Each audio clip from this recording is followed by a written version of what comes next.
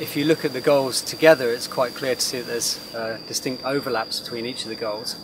Uh, for example, if you take goal 2, which looks at addressing hunger, goal 6, which looks at access to safe water, and goal 15, which is concerned with protecting terrestrial ecosystems and forests, you know, many tropical landscapes you're going to be faced with these issues together and it's going to require uh, a holistic approach to managing them.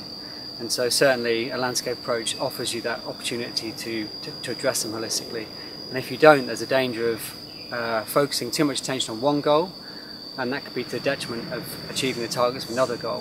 For example, if you, you can make great progress in uh, boosting food production, but this could be uh, affecting your, your targets towards halting deforestation in that landscape. Primarily, policymakers need to consider the impacts their policies will have across uh, local, national and global scales. There's no point uh, creating policies to meet global targets if they're not cognizant of the effects their policies are likely to have at local and national scales.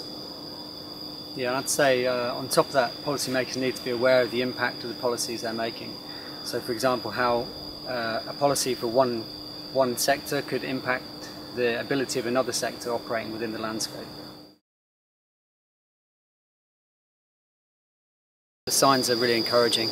There's been a movement away from the Millennium Development Goals, which really place an onus on developing countries and meeting their targets. This document is definitely a whole lot more inclusive and there's been really strong commitments from both developed and developing nations. Yeah, and in terms of the SDGs and um, and landscape approaches, there's a sort of there's been a big groundswell of support for from everyone really asking for these, calling for these um, more integrated and holistic approaches. The water sector, the agricultural sector, the energy sector, um, they've all produced documents making calls, asking for um, more integrated and holistic approaches. But um,